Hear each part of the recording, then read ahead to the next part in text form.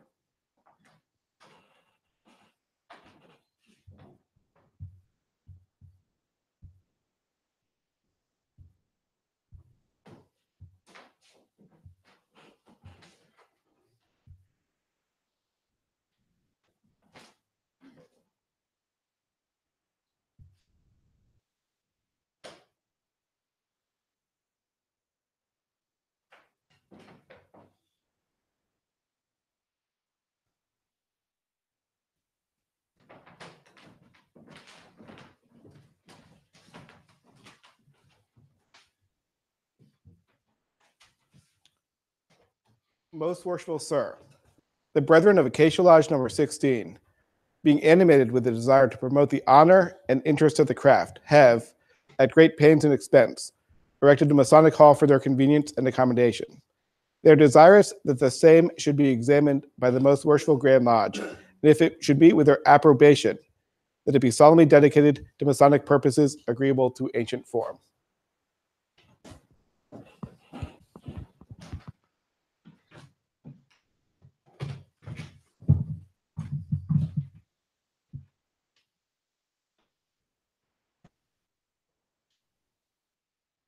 Masonry teaches that we should never begin any great or important undertaking without first invoking the blessing deity.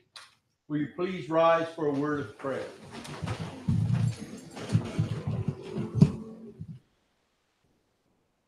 Master Supreme, accept our praise. Still bless this consecrated band. Parent of light, illumine our ways and guide us by thy sovereign hand. May faith, hope, and charity divine here hold their undivided reign.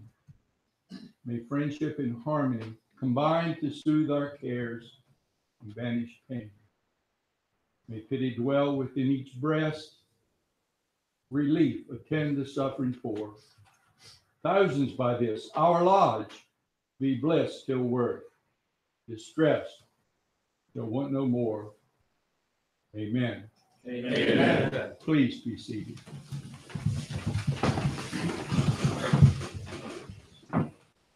Most worshipful, the hall in which we are now assembled and the plan upon which it has been constructed, having met with your approbation, it is the desire of the fraternity that it should be dedicated according to ancient form and usage.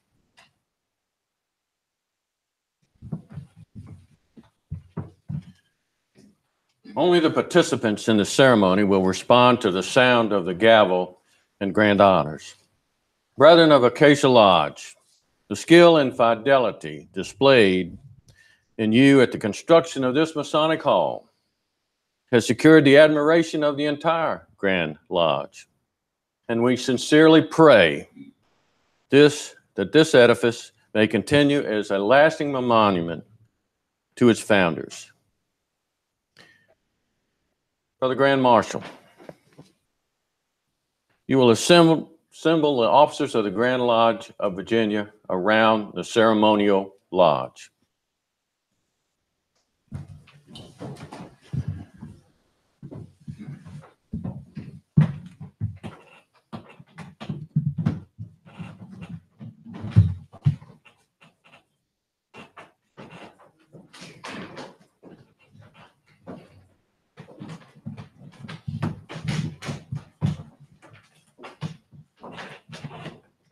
Genius of masonry descend, and with it bring thy spotless train. Constant our sacred rites attend, as we adore thy peaceful reign.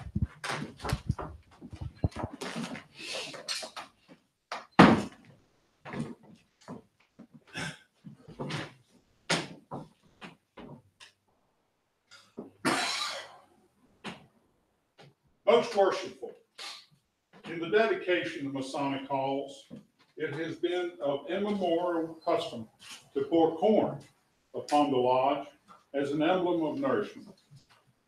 I therefore present you this vessel of corn to be employed by you according to ancient usage.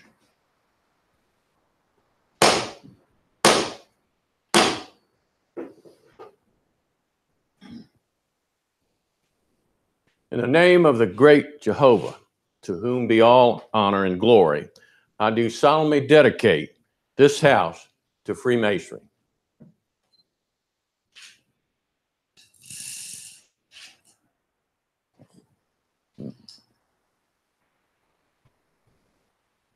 Brethren, the grand honors.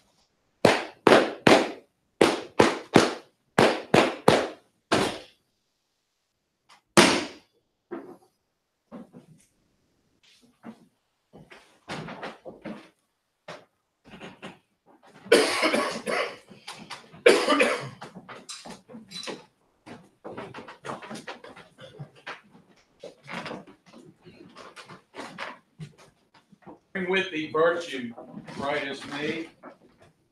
Bring love, bring truth, bring friendship here. While social mirth shall lend her aid to soothe the wrinkled brow of care.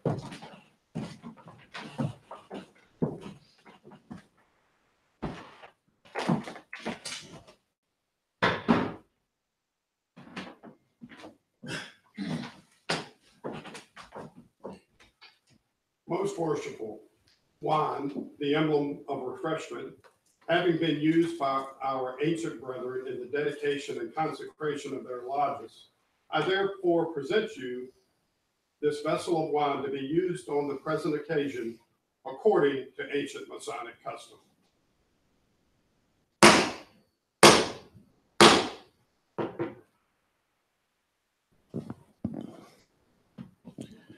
In the name of the Holy Saints John, I do solemnly dedicate this hall to virtue.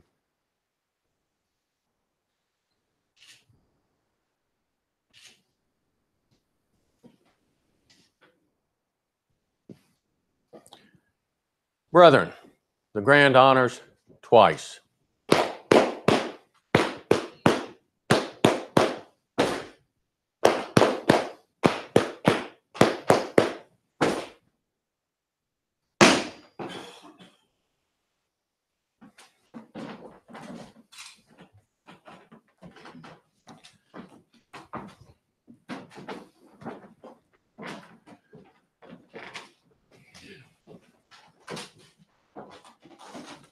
Bring charity with goodness crowned, encircled in thy heavenly robe. Diffuse thy blessings all around to every corner of the globe.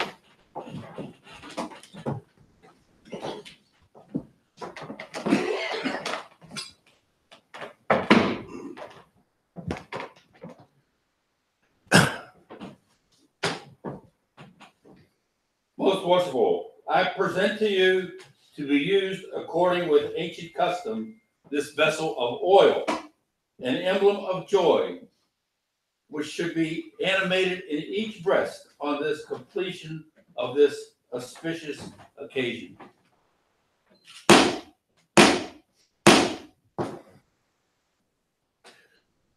In the name of the whole fraternity, I do solemnly dedicate this lodge to universal benevolence.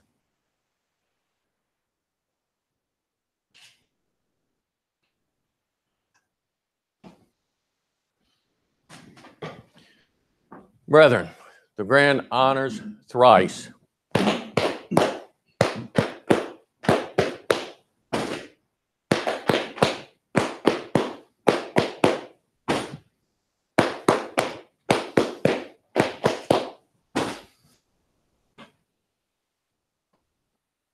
May the Lord, the giver of every good and perfect gift, bless the brethren here assembled in all their lawful undertakings, and grant to each of them an equal supply of the corn of nourishment, the wine of refreshment, and the oil of joy and gladness.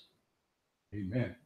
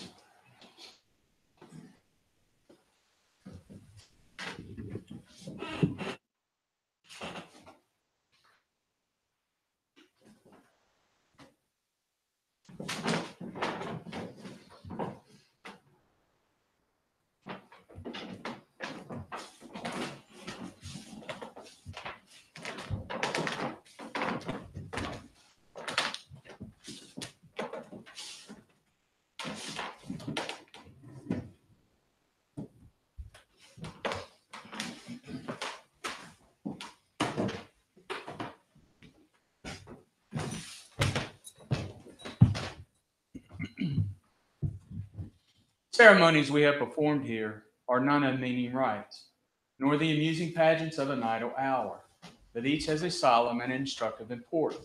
Permit me to point out to you and to impress upon your minds the ennobling sentiments they are so well adapted to convey. This hall, designed and built by wisdom, supported by strength, and adorned by beauty, we first consecrated in the name of the great Jehovah. This teaches us in all our works, begun and finished, to acknowledge, adore, and magnify Him.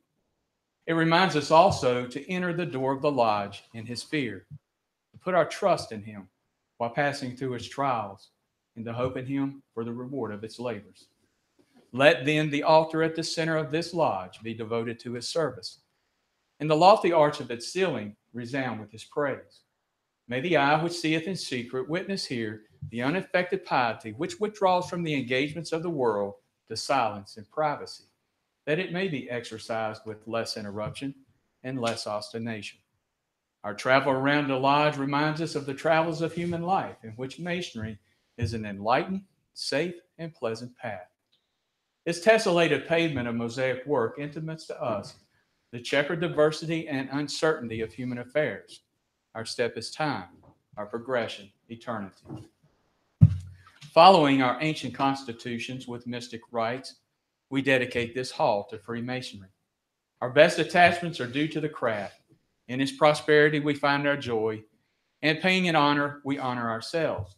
But its work transcends our highest praise, and its glory will outsound our anthems. Brethren, it is a matter of pride that we have our names inscribed on the record of Freemasonry. May it be our highest ambition that they should shed luster upon the immortal page. This hall has also been dedicated to virtue. This worthy approbation will always be duly regarded. While the moral duties which our sublime lectures inculcate with affecting and impressive pertinency are cherished in our hearts and illustrated in our lives. As Freemasonry aims to enliven the spirit of philanthropy and promote the cause of charity, so we dedicate this hall to universal benevolence in the assurance that every brother will dedicate his affections and abilities to the same generous purpose. That while he displays a warm and cordial affection to those who are of the household of the faith, he will extend his benevolent regards and good wishes to the whole family of mankind. Such, my brethren, is the significant meaning of the solemn rites we have just performed, because such are the peculiar duties of every lodge we need not enlarge upon them now, nor show how they diverge as rays from a center to enlighten, improve, and to cheer the whole circle of life. Their import and their exercise is familiar to all of you. In their knowledge and their practice, may you fulfill the whole, may you fulfill the high purpose of Freemasonry.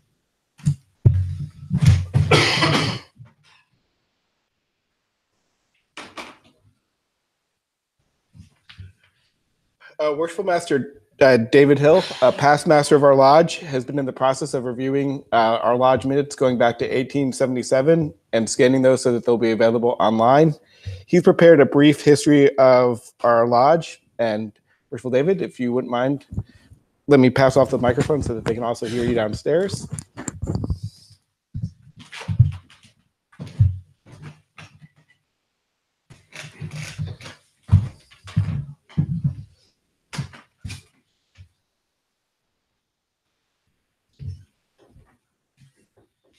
Most worshipful sir, right worshipful sirs, worshipful masters, brethren, and friends all.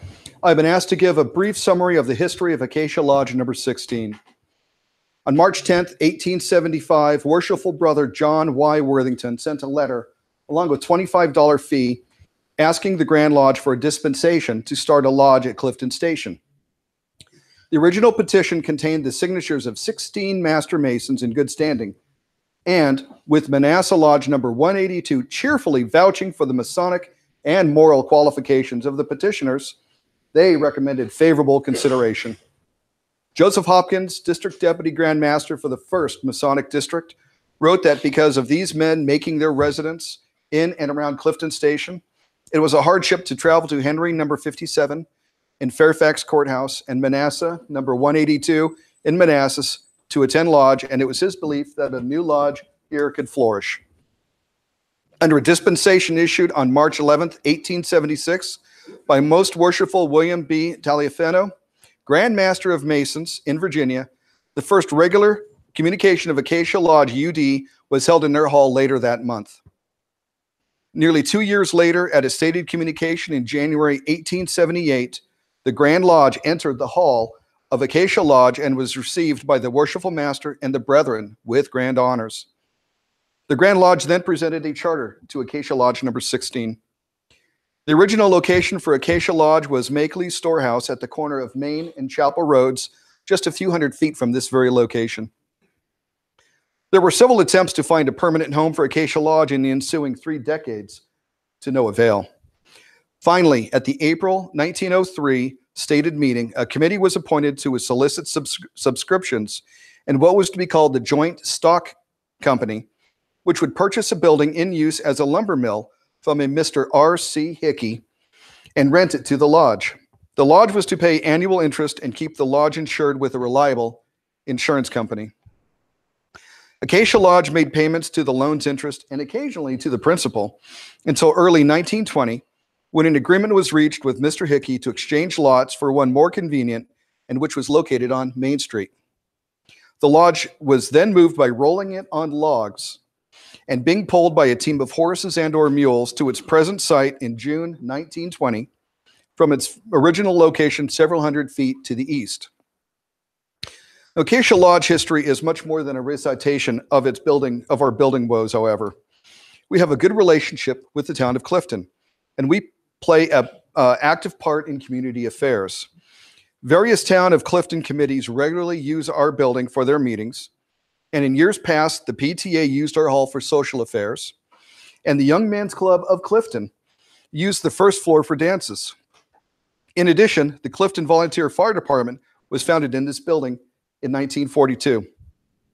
Acacia Lodge was also has also been invited to lay the cornerstone of several local institutions over the last 140 years, to include the Oak Grove Methodist Church, the Clifton Baptist Church, and the Clifton School. Our building has been flooded several times from nearby Pope's Head Creek, the most devastating of which was in June of 2006. The 2006 flood served as a catalyst to unite the brethren in pulling together as one to save our lodge building into what you see today.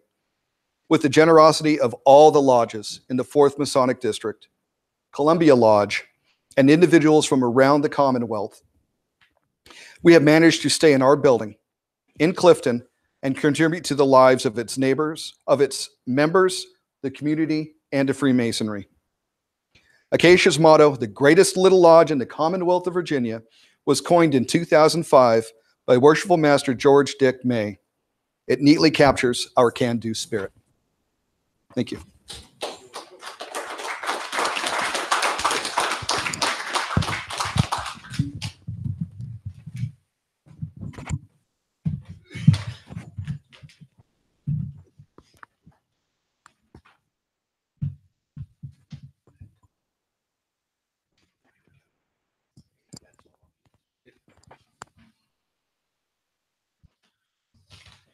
Most worshipful sir, right worshipful sirs, worshipful masters, brethren, distinguished visitors, and friends all, I'd like to uh, thank you all for joining us at the dedication and 140th anniversary celebration of Acacia Lodge number 16.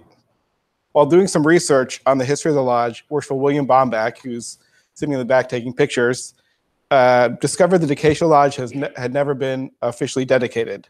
We decided that the 140th anniversary of our lodge was an appropriate time to conduct the ceremony. Let's see. Uh, um, I'd like to thank the Grand Master of Virginia, Most Worshipful Gary Wallace Taylor, and other members of the Grand Lodge of Virginia for joining us this morning. I'd like to thank Right Worshipful Don McAndrews, as well as Right Worshipful Ray Solomon for helping coordinate this event. Uh, I'd also like to thank Lodge. After the flood, the Brothers of Acacia Lodge put a tremendous amount of blood, sweat, and tears in order to rebuild our lodge. It would be impossible to thank by name every brother and non brother who contributed. I would, however, like to recognize a few brothers who were instrumental in the rebuilding of this lodge. First, William Wil- Worshipful William Bomback, My brother William has been a tireless force working behind the scenes to make our lodge better. Uh, because of him, we have a lot of wireless technology, wireless thermostats, and William has done an excellent job keeping our lodge running. Second, worshipful uh, Brant Baber. Brant Baber exemplifies the virtues that we hold dear in Freemasonry, and he played a, a very key role in rebuilding the lodge. Third, I'd like to thank Brother Bill Shelton. Uh, Brother Bill Shelton did a lot of the electrical and plumbing work on the lodge. Um, I learned actually from his son, uh, Right Worshipful John Shelton, that up in the attic of the lodge, when they were renovating, there were glass uh, wire insulators with old wire that had been covered in cloth that they had to tear out and replace. So without um, without Brother Bill Shelton, we'd likely be sitting here in the dark. Next, I'd like to thank Brother Doug Detweiler and Charlie Selby. These brothers have been longstanding members of our lodge. They've been here through thick and thin. In fact, Brother uh, Doug, Detweiler, Doug Detweiler was actually present at the foundation of the volunteer fire department here on the ground floor in 1942. I'd like to give all these brothers a round of applause for everything they've done and continue to do to help keep our lodge great.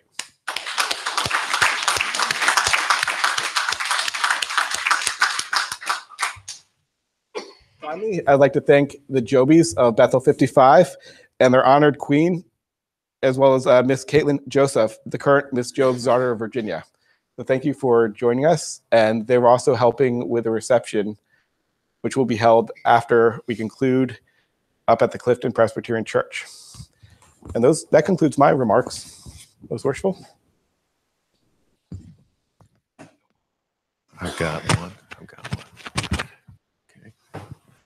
Worshipful, most worshipful, right worshipful, distinguished guest.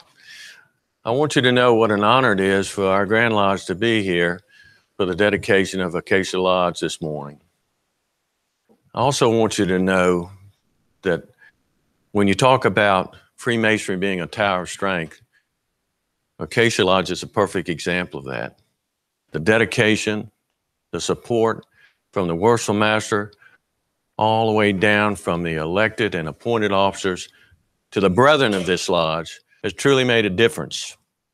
And it's a perfect example of what our fraternity is all about.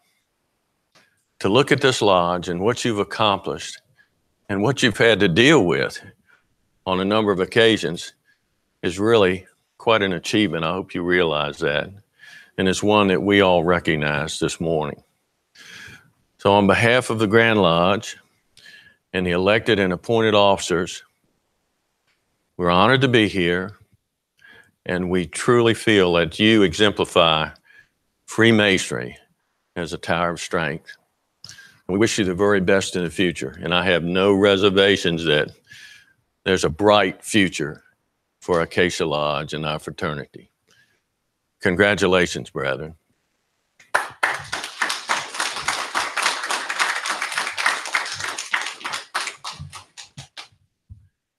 Finally, are there any presentations or any other remarks?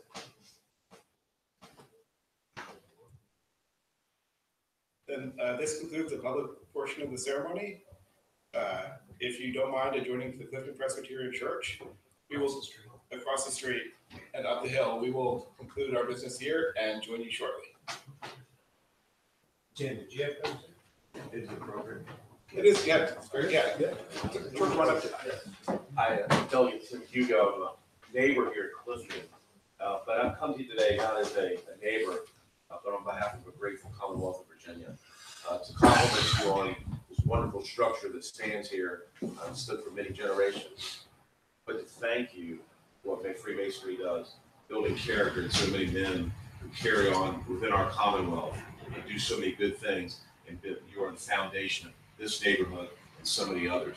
Again, I just want to thank you, and on behalf of uh, grateful Commonwealth of Virginia, I'd like to present this flag that we have flown over the Capitol in honor, uh, honor of the Lodge.